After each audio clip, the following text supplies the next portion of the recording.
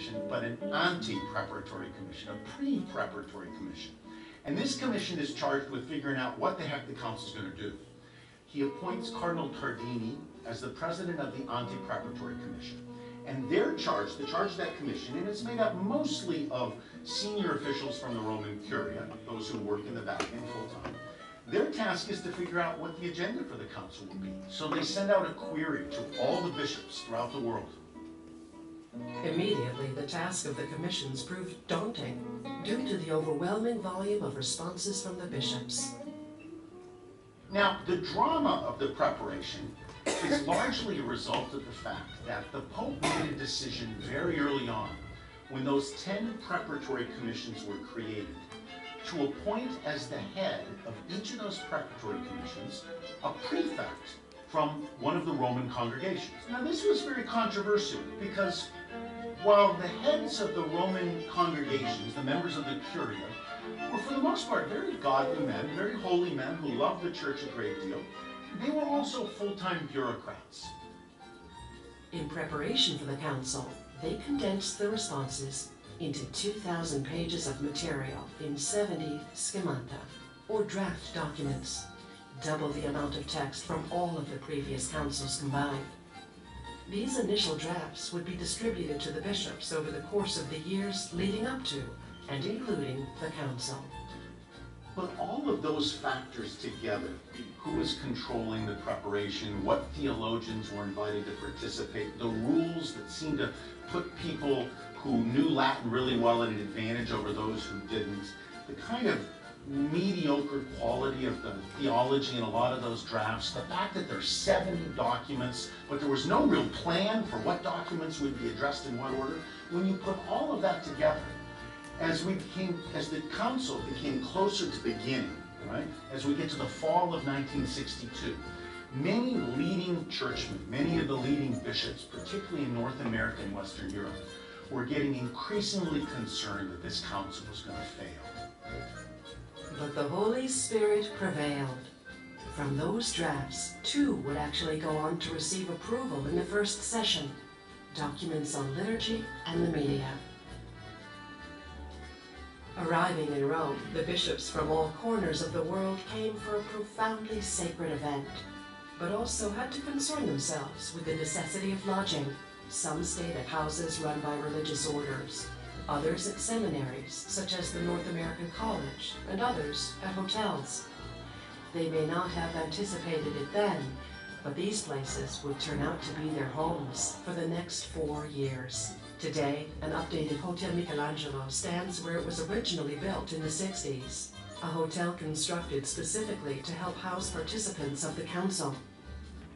At the beginning, it was thought that the council would only last for the autumn of 1962. But the very dynamics of the debates and guidance of the Spirit would lead them to meet in the fall of the following three years as well.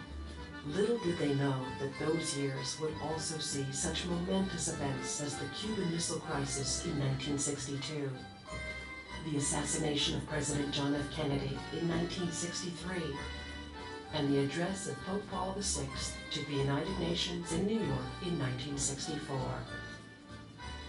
But now, to the opening of the council itself. It was a beautiful evening, slightly chilly, typical fall evening, splendid full moon.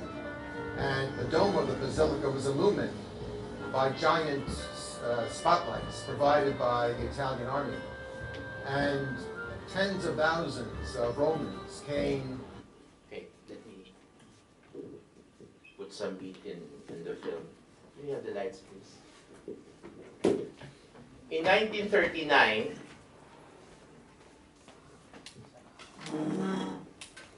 in 1939, Pope Pius XII was elected Pope.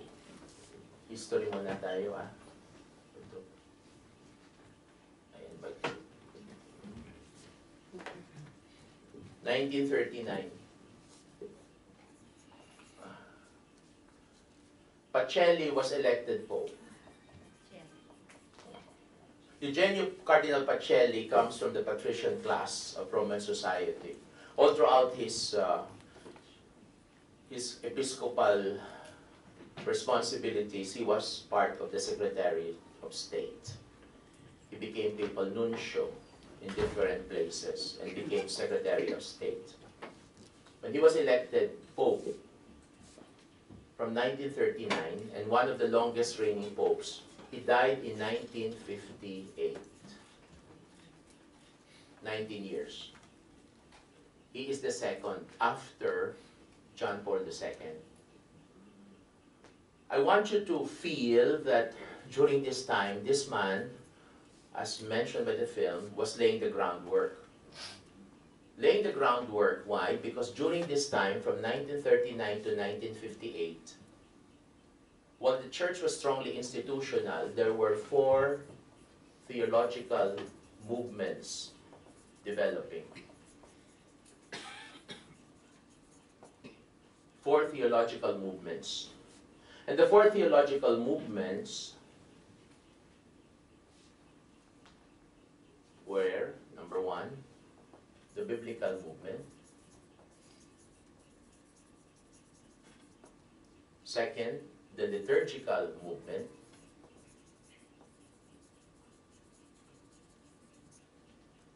Third is the kerygmatic catechetical movement. Okay. And these movements were spearheaded by theologians. The fourth one is the patristic movement. These theologians have a basic orientation, strongly scriptural, historical, and inductive. Because the